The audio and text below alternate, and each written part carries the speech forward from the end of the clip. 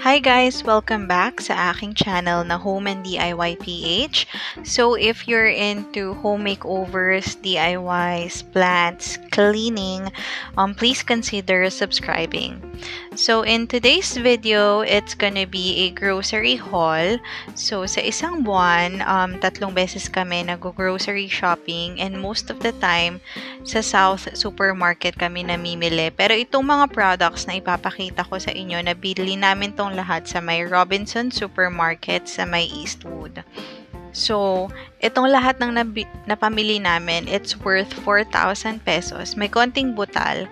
But yeah, doon lang nag-range yung um, grocery namin. Yun yung budget namin for each grocery shopping. So, first is itong mga bread. So, we have a lemon square cupcake na assorted and tong new bake na bread. Okay, next is yung mga chips. Uh, so, we have Piatos, Snacku, Owishi. Hindi ako mahilig bumili ng mga ganito kasi hindi naman siya healthy. Paminsan-minsan lang. Next is itong mga um, instant uh, noodles. Uh, pancit canton na uh, sweet and spicy. Halo-halo na sila. But ang favorite ko kasi is yung Payless Pancit Canton. Pero hindi muna kami bumili kasi may stock pa kami dyan sa may aming pantry. Okay, next is ito namang uh, coffee. So, red and brown. Kasi kami ng hubby ko, brown. Tapos yung helper namin o yung kasambahay namin, red yung iniinom niya. And then, bumili din ako ng birch tree na powdered milk. Okay.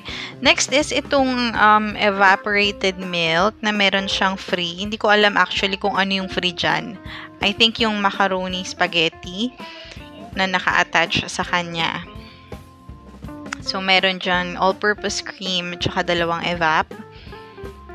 And ito yung mga favorite inumin ng aking um, mga anak. So, Dutch meal na 4 plus 1. And we also have butter or yung uh, margarine. Okay, next is yung mga condiments. So, we have cayenne pepper, um, mang tumas na spicy, patis, and yung jofra na sriracha. Meron kasi kaming recipe na gagawin ng asawa ko. I-upload ko dun sa isa naming channel na Taste Buds PH. Okay, next is itong mga delata. Ito lang actually yung mga kinakain namin. Um, sardines tsaka corned beef. Sa sardines, wala kasing available na rose bowl. Pero rose bowl talaga yung um, binibili ko. Favorite namin yun. Next is itong mga um, ano ba yung tawag dyan? Spices. So, we have oyster sauce, black pepper, uh, Spanish paprika, and is yung, ano ba to, Cajun or Cajun babasa dyan. So, ayan. So, guys, kung may naririnig kayong mga background noise or may mga nagsasalita, ano, baby ko yun ah. okay, and also, um, we bought yung um, hot dog and tocino. Ayan yung mga favorite breakfast nila. And itong bawas na, ano ba to, California Maki worth 195 pesos. Kinain na kasi nung asawa ko dun sa Eastwood. So, ayan na lang natira. And then, ito naman, magkakasama sila. So, we have diaper, tissue, and milk.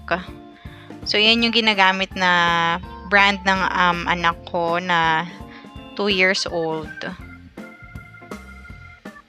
So, sa ano naman tayo, non-food, Um, so, we have um, Pride. May free siya na smart na dishwashing liquid.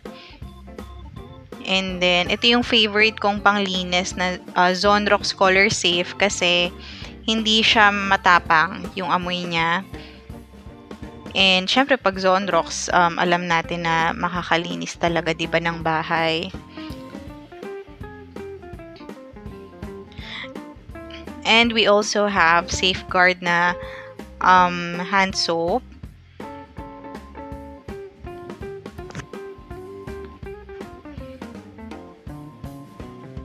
Ayan. Next is yung na Flora na feminine wash. Ito talaga yung ginagamit ko kasi nung buntis ako, nagkaroon ako ng infection at ito yung nirecommend ng aking OB-GYN.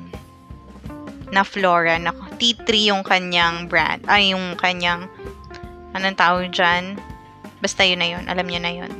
Dalawa kasi siya, isang pink, isang green. So, yung green is tea tree.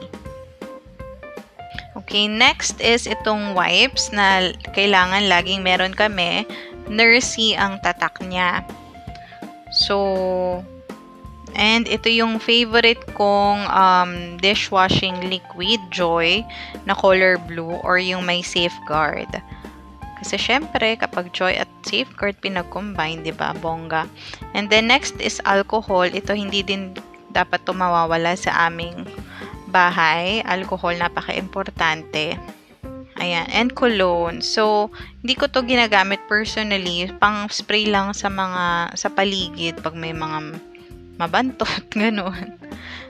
Pero sa um, panggamit sa sarili, hindi namin to ginagamit. Ayan. So, ito lang. Kahit anong flavor, pero ito yung madalas kong binibili, yung color purple na Louis and Pearl. Next is itong ginagamit namin na body wash, safeguard na lemon, yung variant niya. So, maganda kasi itong lemon. Sobrang bango niya. And kapag um, ginamit mo siya sa katawan mo, parang yung effect niya is parang yung Dove. Parang mag-iwan siya ng moisturizing effect sa body. So, try nyo. Maganda siya. Yung ibang flavor kasi ng Safeguard ay hindi ko masyadong bet. Ito talaga mabango. Yung lemon fresh. Last two products ay itong Omega, panglagay sa mga sakit-sakit ng katawan. And then yung off, lotion na para sa mga bata kasi alam nyo naman sa panahon ngayon, ang dami lamok, especially dito sa bahay namin. Hindi ko alam baka dahil sa plants na din. I'm not sure, pero importante yan. So, yun lang guys. I hope nag-enjoy kayo sa ating video today. Kung nagustuhan nyo tong video na to, please like this video and consider subscribing. Until next time, have a good one. Bye guys!